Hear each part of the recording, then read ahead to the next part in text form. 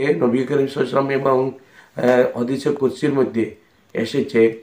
আল্লাহ পাক বলেছেন যে, বন্দারা বন্দা বন্দাবন্দিরা আমার রোজা রাখ- রাখে। সেই রোজা বিনিময়ে আমি নিজে দান করব। কারণ রোজার মধ্যে কোনো উজবরিয়া নাই, নেই। মানুষকে দেখানোর জন্য এই রোজা রাখা হয় না। অন্য যত আবাদত রয়েছে তসপিতালিল রয়েছে এবং কোরআনে করিম তিলাওত করুন এবং নমাজ পড়ুন, এই তসবি মারুন এটার মধ্যে অন্তরের মধ্যে উজবরিয়া এসে যাবে। যদি দান খয়রাত করেন, তার মধ্যে উজবরিয়া এসে যাবে যে আমাকে বলুক যে আমি বড় দাতাল এবং তসবি বা নমাজ তিলাওত যদি আপনি করে আমরা আমরা করি, তখন অন্তরের মধ্যে আসবে যে আমাকে মানুষ দেখুক যে আমি আবিদ, আমি পরেহেজগার। এই কথা এসে যেতে পারে। কিন্তু রোজার মধ্যে সেটা ব্যতিক্রম। রোজার মধ্যে আল্লাপাক বলেছেন, রোজা যারা রাখে, তাদের উদ্দেশ্য কেবলমাত্র আমাকে সন্তুষ্ট করার জন্য রোজা রাখে। যদি মানুষকে দেখানোর জন্য রোজা রাখতো, তাহলে পানির মধ্যে ডুবিয়ে পানি পান করত এবং ঘরের মধ্যে ঢুকে, অন্ধকার ঘরের মধ্যে ঢুকে কিছু খেয়ে ফেলতো। আমার বন্দাবন্দিরা আমাকে সন্তুষ্ট করার জন্য যদি রোজা রেখেছে, যদি মানুষকে দেখানোর জন্য হতো, তাহলে মানুষের সম্মুখে এসে তুতু মানুষের সম্মুখে এসে তুতু নিক্ষেপ করল। আমাদের সম্মুখে মাহে রমজান আসছে তো রমজানের ফজিলত এবং রমজান মাসের করণীয় এবং বর্জনীয় নিয়ে অতি সংক্ষেপে যদি দর্শক শ্রোতাদের উদ্দেশ্যে একটি মেসেজ দান করতেন। আসসালামু আলাইকুম রহমতুল্লাহ বারকাত নাহমদ হুয়ানুসল্লি আল্লাহ রসুল করিম। اما بعد فاعوذ باللہ من الشیطان الرجیم بسم اللہ الرحمن الرحیم شہر رمضان الذي انزل فيه القرآن.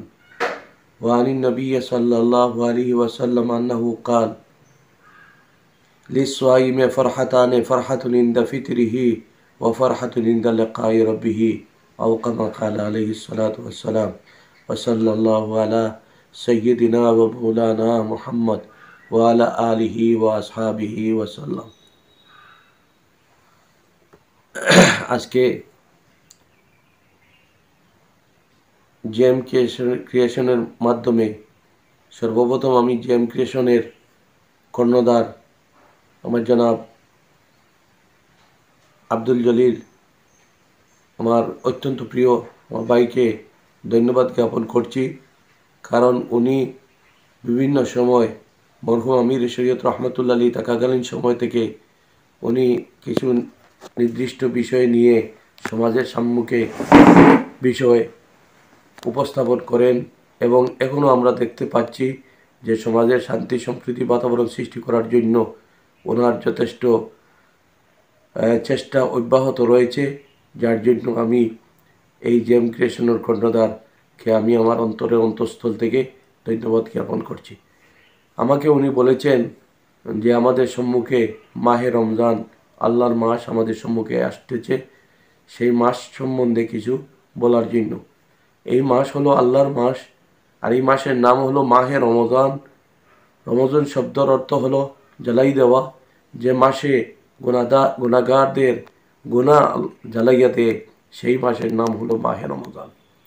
সেই মাহে রমজান সম্বন্ধে আল্লাহ পাক কোরআনে করিমের মধ্যে বলেছেন শহরু রমজান আল্লাহি উনজিলা ফিহিল কোরআন এই কোরআনে কোরআনে করিম আল্লাহ পাকে এই রমজান মাসে নাজিল করেছেন। যার জন্য আমরা সবাই যে আল্লাহর মাস আমাদের সম্মুখে আসতেছে, সেই মাসের মর্যাদা আমরা সঠিকভাবে দিতে হবে। অন্য হদিসে পাকের মধ্যে নবীজি বলেছেন, মান সামা রমজানা ইমান গফির আলহু মা তাকাদ্দামা মিন জম্বি। যে ব্যক্তিরা রমজান শরীফের রোজা গভীর আস্থা স্থাপন করে রমজান শরীফের রোজা রাখবে, সেই রোজার বিনিময়ে আল্লাহ পাকি গুনায় সগিরা মাফ করে দিবেন, গুনায় কবিরা তবা সামিলে মাফ করে দেবেন। হকুকুল এবার কোনো বন্দার হক যদি দিয়ে আপনি দাবিয়ে খান, তাহলে সেই বন্দা থেকে যতক্ষণ পর্যন্ত মুক্তি পাবেন না, কতক্ষণ পর্যন্ত আল্লাহ পাক মাফ করে দেন না। এই হদিসের অন্য অংশে নবীজি বলেছেন ওমান কাম রমজানা ইমান ও এহতেসাবান গফির আলহু মা তাকাদ্দামা মিন জম্বি। রমজান শরীফের তেরাবির নমাজ, সেই তেরাবির নমাজ সহি শুদ্ধভাবে আল্লাহকে সন্তুষ্ট করার জন্য গভীর আস্থা স্থাপন করে তেরাবির নমাজ ধীরে স্থিরে যারা পড়বে, সেই তসল্লি সহিত পড়বে। এই জন্য এদেরকে নবীজি বলেছেন ওমান কামা রমজানা ইমান আবু এহতাসাবান গভীর আলু মা তাকাদ্দামা মিন জম্বি। সেই তারাবির নমাজের বিনিময়ে আল্লাহ পাক গুনে গুনায় সগিরা মাফ করে দেবেন এবং গুনায় কবিরা তৌবাসা মিলে মাফ করে দেবেন। এবং গুনায় হকুকুল এবাদ কোনো বন্দার হক যদি দাবিয়া খান যতক্ষণ পর্যন্ত সেই বন্দা থেকে মুক্তি পাওয়া যা পাবেন না ততক্ষণ আল্লাহ পাক মাফ করে দেন না। এইভাবে এইবারে এইবারে আমরা শুনলাম রমজানের ফজিলত সম্পর্কে। তো এখন আমি বলব ওই যে রমজান শরীফের রোজা রাখে অনেক সময় অনেকে কিছু গরম মানে মনোভাবারী গরম ইয়ে রোজা রোজা মুখের মুখে রেখে আমরা কথাবার্তা যাতে অনর্থক কথাবার্তা না বলি। রোজাদারি সম্বন্ধে নবীজি বলেছেন, লি সোয়াইমে ফরহাতানে, ফরহাতুন ইন্দা ফিতরিহি ও ফরহাতুন ইন্দা লেখা ইরবিহি রোজাদারির, রোজার বিনিময়ে দুইটা সুসংবাদ।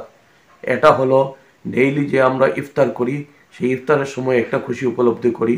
দ্বিতীয় হলো, যে উনত্রিশ দিন, ত্রিশ দিন পূর্ণ হওয়ার পরে আমরা যে ঈদ করি, সেই ঈদের নাম হলো ঈদুল ফিতির। এই জন্য রোজাদারের দুইটা দুই নম্বর সুসংবাদ হলো যে এই রোজার বিনিময়ে আল্লাহ পাকের নিকটবর্তী আমরা হয়ে থাকি। এখন এই যে রোজা, সেই রোজার মধ্যে যদি কেউ কথাবার্তা বলার প্রয়োজন হয়, সেটা সঠিক কথাবার্তা বলবেন। মানুষ মানুষের জবান যদি কেউ অপবা, কোনো গালি দেয়, তাহলে গালির উত্তর গালি দিয়ে দিবেন না। কারণ রোজা মুখে নিয়ে কথাবার্তা, অন, অযথা কথাবার্তা না বলার জন্য আমি বিশেষভাবে অনুরোধ করতেছি। কারণ সাহাবাই কেরামকে যখন রোজার মধ্যে কেউ কথা বলার কথা বলতো তখন সাহাবাই কেরামরা বলতেন যে আমি রোজাদার আমা আমি বলব না।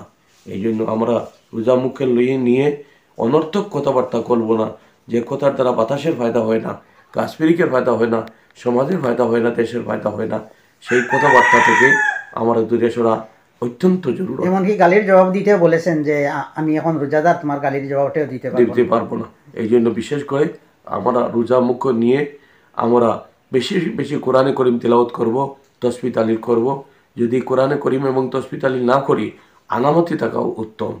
এই জন্য আমি সবাইকে বলতেছি যে রোজা মুখ নিয়ে যাতে অনর্থক কথাবার্তা বলেন না। রাগ- সর্বাবস্থায় রাগ বর্জন রাগ বর্জন করার জন্য আমি সবাইকে অনুরোধ জানাচ্ছি। প্রত্যেকে মানে এক নিয়তে খাস এবাদত করার লাগিয়া আজ এবাদত করার জন্য। যেহেতু আল্লাহর মাস আল্লাহ তালারে রাজি করার আল্লাহ আল্লাহকে সন্তুষ্ট করার জন্য যাবতীয় কর্ম এবং রোজা আমাদের রাখতে হবে। অন্যদিকে আমরা হালাল মাল খেয়ে আমরা রোজা রাখব এবং হালাল মাল খেয়ে আমরা রোজা ছাড়বো। আমাদের আচার ব্যবহারটা ভালো হতে হবে। ভালো হতে হবে। যেটা থেকে আমরা অন্যান্য মাসের তুলনায় অন্যান্য মাসের তুলনায় আচার ব্যবহারটা ভালো হতে হবে। কারণ সবাই যে রোজা মুখে নিয়ে আমাদের সব ধর্মের মানুষ যাতে এটা উপলব্ধি করতে পারে যে আমরা সঠিক আল্লাহকে সন্তুষ্ট করার জন্য সৃষ্টিকর্তাকে সন্তুষ্ট করার জন্য এই মাস আমরা উপাসনা করতেছি, আমরা এবাদত করতেছি। এটা সবাই বুঝতে পারে যেভাবে সেই মর্মে আমরা এবাদত করতে হবে এবং সতর্কতা অবলম্বন করতে হবে।